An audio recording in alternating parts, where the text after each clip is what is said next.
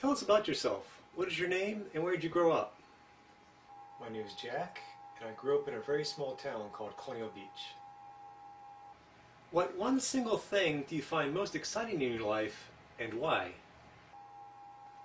The tax law changes from fiscal year 2003 to fiscal year 2004 are really very fascinating.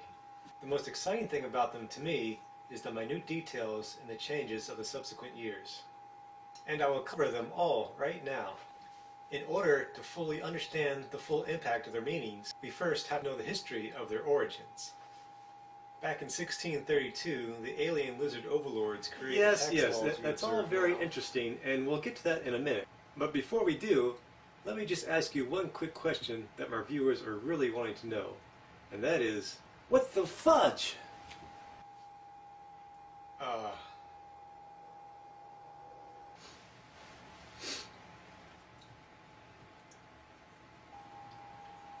What are your main objectives in life right now and how did you decide on those? my main objective is to complete the certificate for multimedia arts.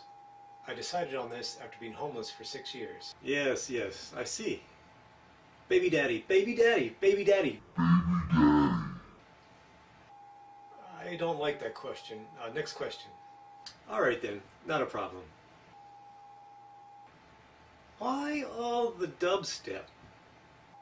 Uh, dubstep? Okay, just forget that one. Aren't we here to talk about my goals and my desired job in the future? Yes, great question. What are your go? Oh, I'm sorry. I see we're out of time. Thank you for stopping by.